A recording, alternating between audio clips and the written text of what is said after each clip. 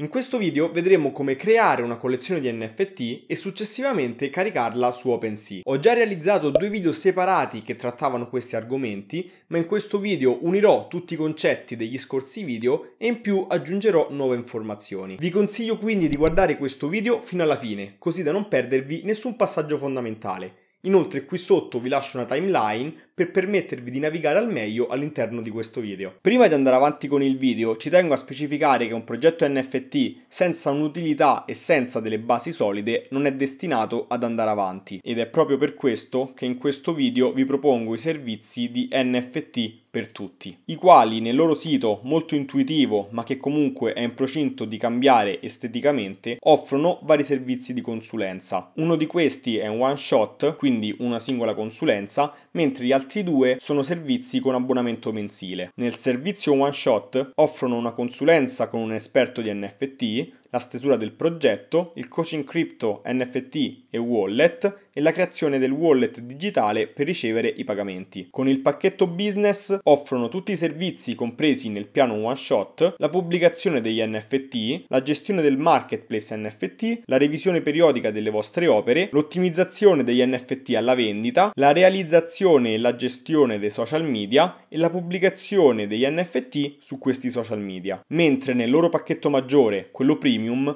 offrono servizi compresi nel piano one shot, tutti quelli compresi anche nel piano business, inoltre la campagna di influencer marketing, la promozione dei vostri NFT, la realizzazione del sito web del vostro progetto ed anche la realizzazione del suo server Discord. Se siete interessati a uno di questi tre pacchetti potete semplicemente contattarli e con il mio codice sconto Tommy20 riceverete il 20% di sconto sia su una consulenza one shot sia sui piani business, quindi un 20% di sconto sulla cifra di ogni mese. Questi servizi valgono sia per chi parte da zero, quindi deve creare completamente da zero un progetto anche per quanto riguarda le grafiche, ma anche per chi le ha già create e vuole semplicemente una revisione delle stesse. In più i loro esperti nell'ambito degli smart contract provvederanno alla realizzazione appunto dello smart contract per la vostra collezione di NFT. In descrizione, oltre a lasciare lasciarvi il link che vi rimanda al loro sito, vi lascio anche il link che vi rimanda alla loro pagina Instagram, dove pubblicano diversi contenuti a tema NFT e dove cliccando nel link in bio potrete accedere anche al loro sito web nella versione inglese. Iniziamo ora con il tutorial. Per prima cosa recatevi nel link qui sotto in descrizione e scaricate Node.js, il quale servirà per far funzionare lo script che genererà i vostri NFT. Ovviamente una volta scaricato fate doppio clic sul file e seguite la procedura che vi richiede. Io però non lo faccio perché è già installato sul mio computer. Una volta scaricato, recatevi sempre in descrizione e scaricate l'Ashlips Art Engine, andando qui su Code e poi Download Zip. Una volta fatto il download, andate dove l'avete scaricato, tasto destro ed estraete il contenuto della cartella. Una volta fatto questo vi servirà un editor di codice. Quello che io consiglio sempre di utilizzare è Visual Studio Code. Anche in questo caso basterà fare il download per il vostro sistema operativo. Una volta scaricato fate tasto destro sull'icona di Visual Studio Code ed apritelo come amministratore.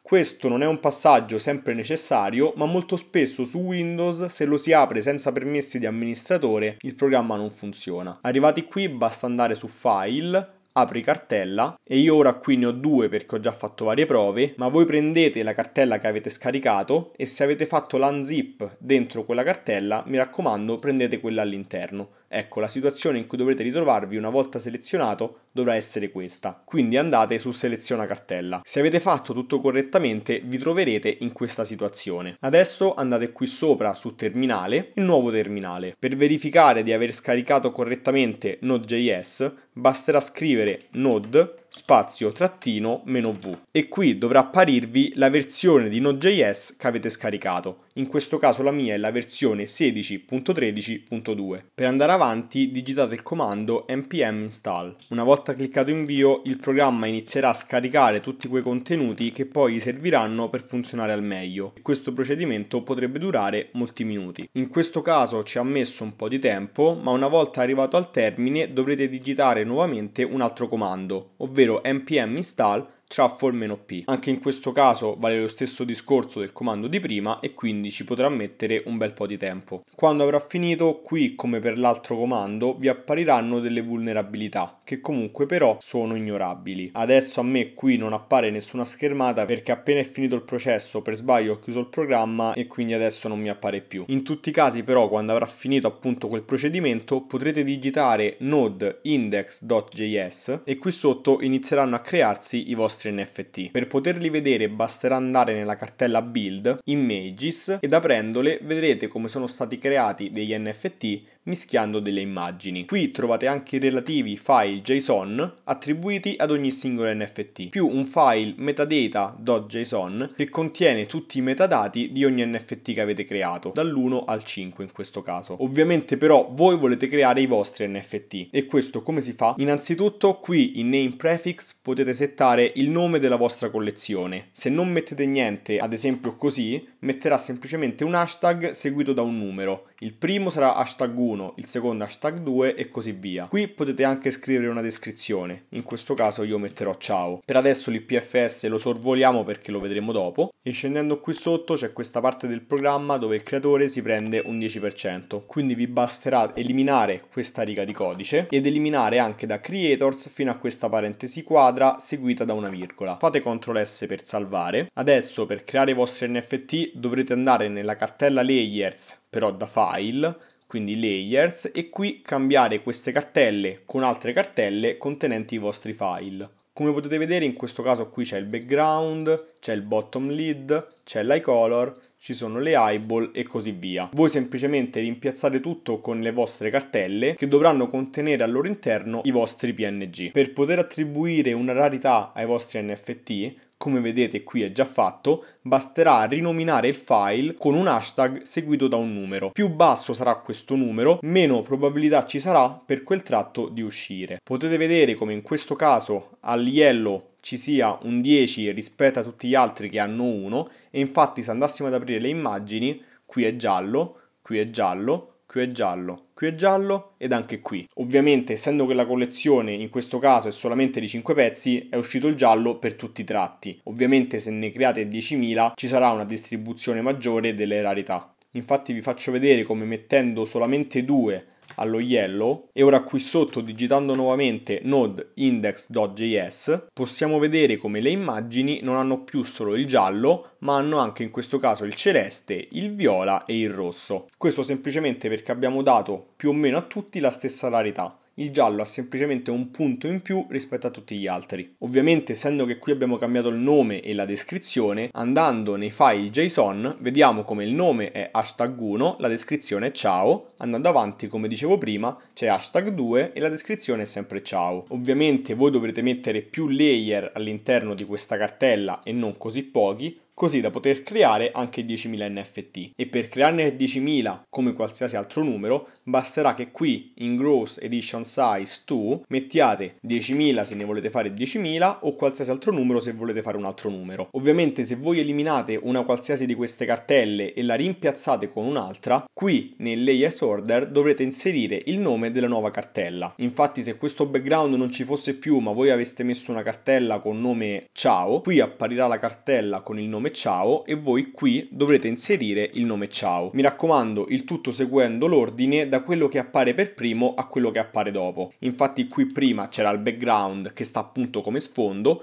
poi sopra il background c'è l'eyeball, poi l'eye color, poi l'iris, poi shine e così via, uno sopra l'altro. Quindi questo è il primo layer che viene messo allo sfondo di tutto, mentre il top lead è il layer che viene messo sopra tutto il resto. Ovviamente io ho creato pochi NFT solamente per questo video, ma voi potete mettere appunto il numero che vi pare e qui sotto cambiare anche la dimensione del file. Qui è 512x512, ma voi potrete mettere anche 3000x3000 in base alla risoluzione che volete. Mi raccomando però ogni volta che effettuate delle modifiche fate CTRL S o Command S su Mac per salvare. Una volta creati i vostri NFT recatevi sul browser e create un account su Pignata, ovvero un IPFS File Manager. Voi andate semplicemente su Upload, Folder, cliccate su Select e andando dove avete generato le immagini cliccate su Images e poi Carica. Qui date il consenso ed inserite un nome, ad esempio prova IMG. Come potete vedere a me la cartella è apparsa subito. Ovviamente però se create 10.000 NFT ci potrà mettere moltissimo più tempo. Comunque, una volta fatto, cliccate qui sull'icona del copia e copiate il CID, ovvero il content identifier della vostra cartella. Adesso tornate su OpenSea e qui dopo ipfs due punti doppio slash new URI to replace, al posto di questo new URI to replace fate CTRL V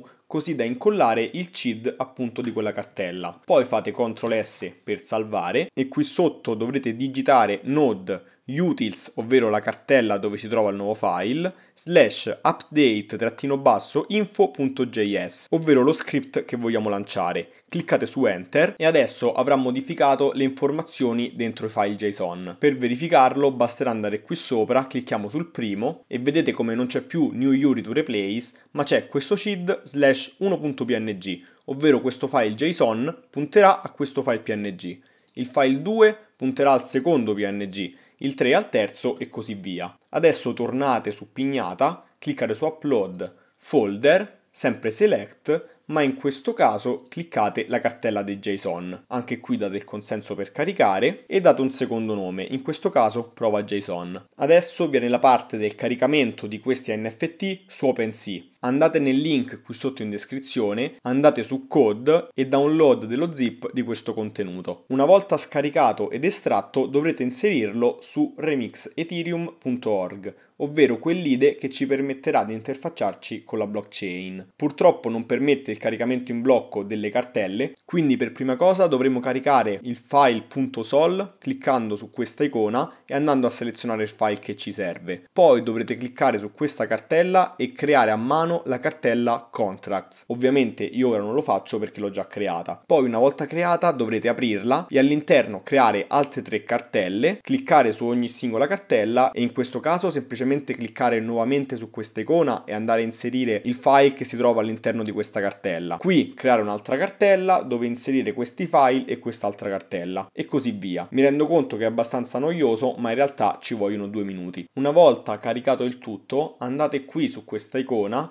e compilate il file thestripesnft.sol. Come potete vedere appare una spunta verde e se torniamo qui è stata creata una cartella artifacts con tutti i file della compilazione del nostro file.solidity. Adesso voi qui potrete cambiare il nome del vostro contratto e rinominarlo anche qui. Voi qui in costo e in costo di presale non dovrete toccare niente perché non creando una minting app a noi quello non interessa. Però in max supply dovete inserire la quantità di NFT che avete creato, in questo caso quindi io metterò 5 e in max mint amount il numero di NFT da mintare per volta. Io metterò 50 perché se si supera i 50 anche solamente mettendo 51 a me ha sempre dato errore. Poi poi qui sotto trovate questo mint al message sender un numero di NFT di 20. Questo perché semplicemente adesso che andremo a deployare il contratto ce ne minterà direttamente 20. Quindi io lo elimino, ma voi potete anche lasciarlo semplicemente tenendo in mente che appena fatto partire il programma già vi minterà 20 NFT. Io per questo tutorial non lo voglio, quindi lo toglierò così che adesso che vado a deployare il contratto non mi darà nessun NFT. Clicco di nuovo su questa icona, vado in compile e una volta che sarà apparsa questa spunta verde scendo qui sotto, vado nell'environment, seleziono Injected Web 3 per permettere a Remix Ethereum Bitcoin.org di collegarsi al mio Metamask. Ovviamente qui si è già connesso perché io mi ero connesso a questo sito in precedenza. A voi invece apparirà un pop-up che vi chiederà di connettersi a Metamask. Vedete che qui c'è scritto che sono connesso alla main network. Quindi se lasciassi così, i miei NFT sarebbero caricati sulla rete reale Ovviamente questo è un test per YouTube e a me non interessa, quindi clicco sull'icona di Metamask, vado qui e seleziono la rete di test Rinkeby. Adesso andiamo qui sotto e se non è già selezionato cliccate qui e selezionate The Stripes NFT. Ovviamente se voi l'avete rinominato con un vostro nome, ad esempio ciao, qui apparirà ciao. Adesso qui dove c'è scritto deploy cliccate su questa freccetta, vi appariranno queste tre caselle dove voi dovrete mettere il nome della collezione di NFT, il simbolo simbolo che volete dare e qui sotto nell'init base URI dovrete inserire ipfs due punti doppio slash, poi tornare su pignata, prendere il CID della cartella JSON, tornare su Remix Ethereum, fare CTRL V e poi mi raccomando è molto importante inserire un altro slash alla fine di tutto il CID. Una volta fatto ciò cliccate su Transact, confermate e qui sotto potrete verificare come la creazione sia in attesa. Potrete verificarlo anche cliccando su Metamask e in attività vedendo che la distribuzione del contratto è ancora in corso. Potrebbe richiedere un pochino di tempo ma comunque dopo un po' andrà a buon fine e qui vedrete una spunta verde. Adesso qui sotto vedete che è apparso questo The Stripes NFT o comunque qualsiasi nome che gli avete dato voi. Cliccate sempre su questa freccetta e adesso per mintare i vostri NFT basterà cliccare nuovamente su Metamask e copiare il vostro indirizzo. Una volta copiato andrete qui nella funzione mint, cliccherete questa freccetta e qui in to metterete il vostro indirizzo e nel mint amount dovrete mettere appunto un numero che sia compreso tra 1 e questo 50 senza mai superarlo. Ovviamente qui io per il video ho messo 50 ma avendone creati solamente 5 non ne potrò mai creare 50 e comunque sempre per i fini del video qui metterò 1 per velocizzare il processo. Una volta cliccato su transact apparirà nuovamente la schermata di conferma di Metamask e una volta confermato ci vorrà sempre un po' prima che qui appaia la spunta verde e che quindi la transazione sarà andata a buon fine. Adesso che è apparsa possiamo scendere sempre qui sotto all'interno del contratto, arrivare fino all'owner off, selezionare uno visto che ne ho creato solamente uno e cliccando poi su questo pulsante di chiamata dirà come il proprietario di questa NFT del numero 1 sia questo indirizzo ovvero il mio. Per verificarlo basterà che saliate qui sopra e verificate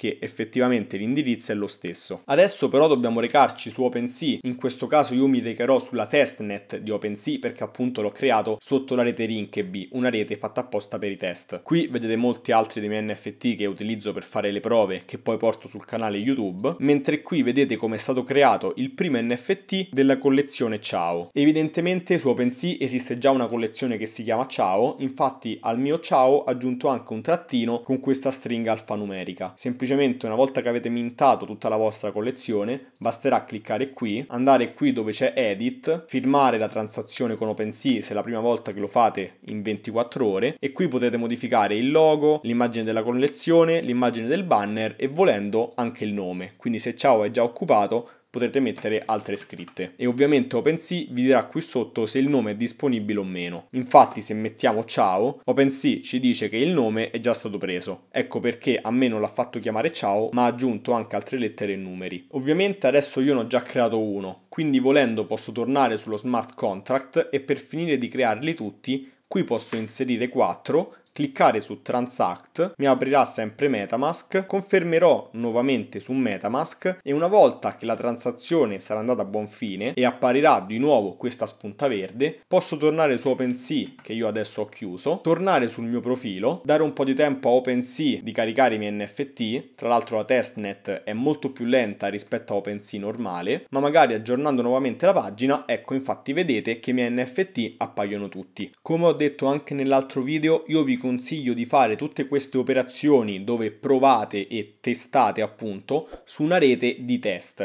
una rete dedicata apposta ai vostri errori. Se sbagliate sulla rete di test poco male perché appunto è una rete non reale. Se sbagliate su una rete reale come può essere la mainnet di Ethereum o la mainnet di Polygon, quel vostro errore rimarrà per sempre in blockchain. Quindi fate molta attenzione quando entrate in questo mondo. Anche questo tutorial finisce qui. Se ti sono stato utile in qualche modo fammelo capire lasciandomi un like sotto questo video, ma magari iscrivendoti anche al mio canale per essere di maggior supporto. Se qualcosa non è stato chiaro lasciami qui sotto un commento e noi ci vediamo alla prossima. Ciao!